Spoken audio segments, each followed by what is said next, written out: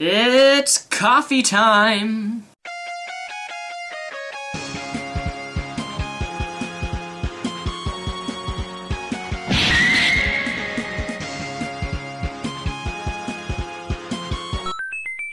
Looks like you just press the start button. Good evening, ladies and gentlemen. This is a new segment that I'm going to start on this channel called Coffee Time. So if you see Coffee Time up in the title, that means it's going to be a video talking about my life and things that are going in my life currently or in the past or just little random vloggity vlogs. First question, do you prefer me in color like I am right now or black and white? I personally like black and white, but some people like color, so I'm going to do this video in color. Let me know if you would prefer black and white or color. And as you can see, the steam coming out of my coffee cup. Oh, wow, that was way too hot. This actually boiled over in the microwave uh, just like a couple minutes ago. Like, just exploded in the microwave and I had to clean up all the black coffee. For those of you who don't know, I drink uh, black coffee and coffee with creamer in it. I like like them both. Um, I drink both types. Um, one of my favorite types of coffee creamer is usually peppermint or caramel or vanilla. So, coffee time. I want to talk about a little bit of things about going on in my life recently. Mainly some stuff uh, that happened. Oh, by the way, these videos are going to be unedited, so you're not going to have any fancy editing. It's just going to be me making grammatical mistakes, ums, as, ofs, and random orgasm sounds constantly throughout this video. So, procrastination. So April 1st, no, April 2nd, what, I think it was April 2nd, I don't know. This week, or I should say last week, um, classes started for spring quarter. I am in my third year of college, and sadly enough, I procrastinated payment for my college tuition, even though I was already in my classes. So I was in fifth, three classes, which constituted, you know, 15 credits in college, and I procrastinated, which is something I always do. But I procrastinated to the point to where it, I didn't pay for my classes in time, I forgot about me. I forgot about payment. I remember when I got into my classes, it said you owe two uh, two thousand dollars or whatever. I'm like, okay, I'll just I'll wait it out. I don't feel like paying. I don't feel like taking the effort to pay for it right now. I had the money. I just didn't feel like typing my credit card number and all that jazz. So I just waited it out. And not to my surprise, I forgot about it.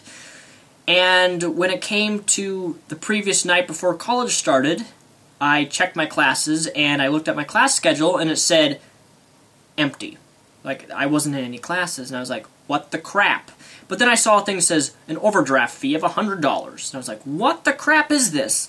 Then I remembered I didn't pay, which means that if I didn't pay in time, I automatically get dropped out of my classes. Meaning that I'm not going to be in their classes unless I can, by some lucky chance, get into it. So that night, I registered for my classes and I happened to be on the wait list of my college class, number six on both of my classes. On all no, all my all three classes, I was number six.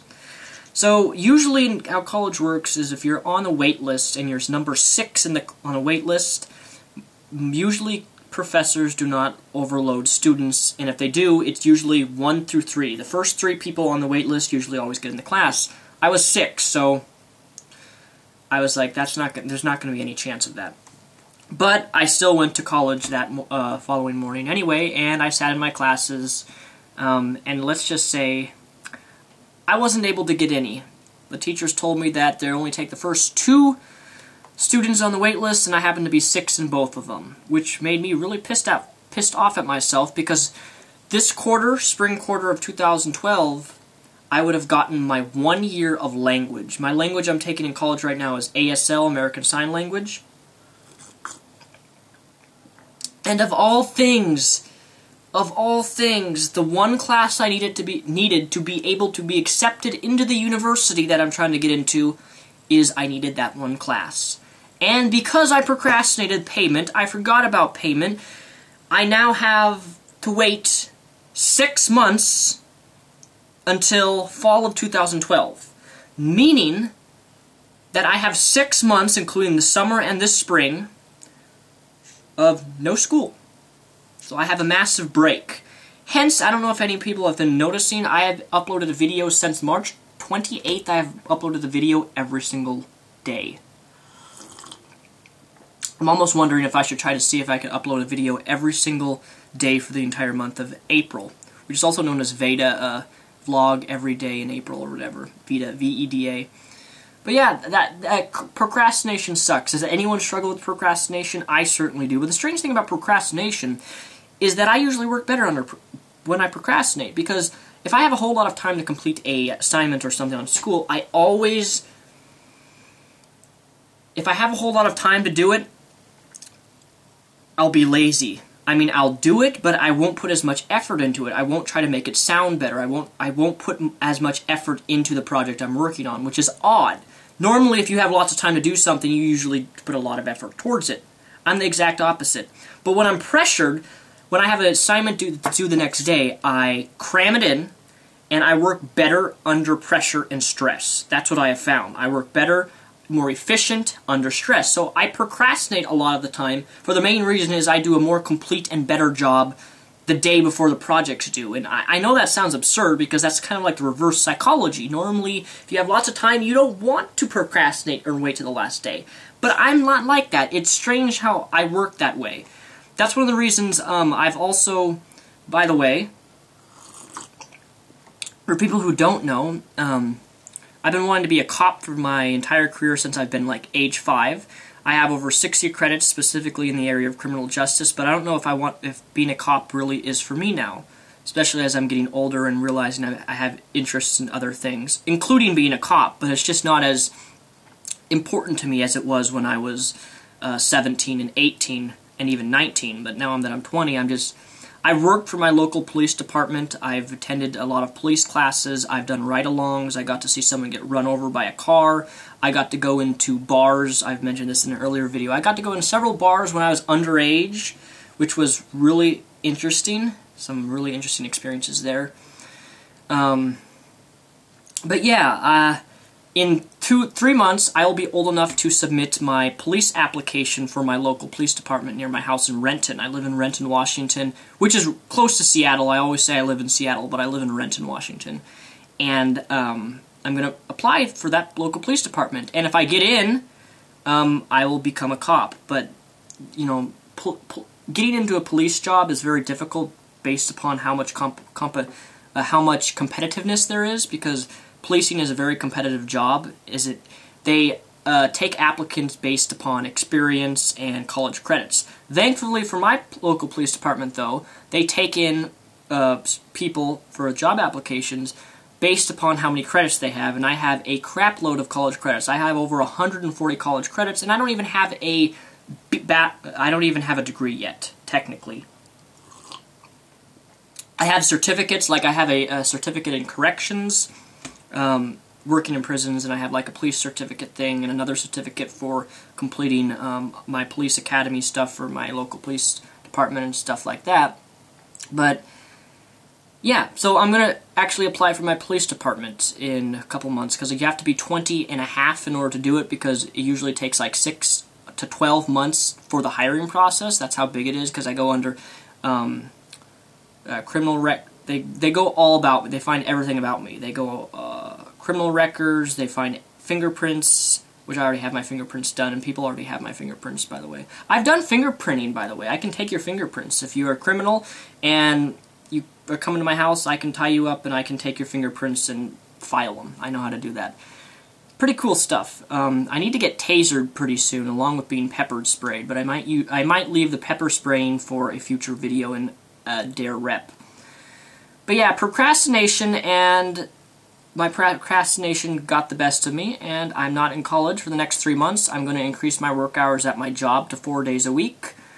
Um, I'm going to be on YouTube a lot more and uploading a lot more videos more frequently, hence why I've been uploading videos almost every single day this entire month of April, is because I have nothing to do besides work, and work is tiresome, but on my free time I have nothing to do. All my friends are in college, they're all busy, they're all doing homework, and I'm just sitting here in my lone room by myself. Yeah, it's lonely. Happy Easter, by the way. It's not Easter yet, but tomorrow's Easter, and I'm going to go to church tomorrow morning very, very early and wish me luck because I may be interacting with someone who I haven't seen for a very, very, very, very long time back in preschool. And back in preschool, I remember who she was. I remember that even in preschool, I liked her. And I haven't actually talked to her verbally since preschool, which is a long, long time ago.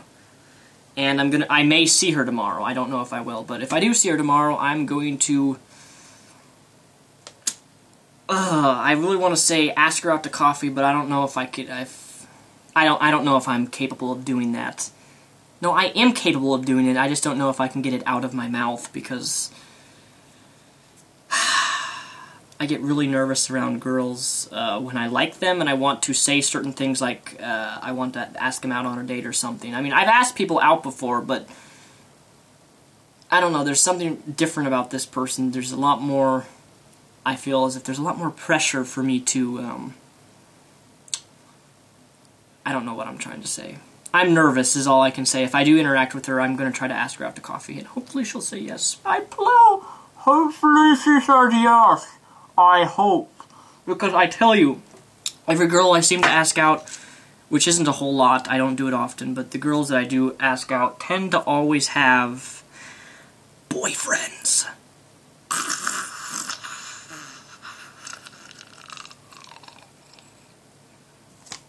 And it's very depressing. With that said, don't procrastinate. Don't be like me. Don't get dropped out of all your classes and charge an overdraft fee from procrastinating. Don't do it. It's just not good. Um, yeah, I'm going to apply for uh, my uh, cop job, police job, in a couple months. Hopefully, I can get into that. If not, um, I'm going to pursue my degree in a uh, bachelor degree of behavioral psychology. And if that doesn't work, I don't know what else I'm going to do. Maybe I'll just try to pursue a YouTube career after those two attempts don't, excuse me, don't work. And yeah, happy Easter, everybody. I don't know if there will be a video tomorrow. There'll, no, you know, there'll be a video tomorrow. That that's that's no question. So with that said, I'm Mr. Repzion, also known as Daniel Sulzbach. You want more of these coffee time vlogs, where I'm just ranting, talking, and sounding like a complete and utter idiot? Please let me know in the comments below. Peace, the rep out.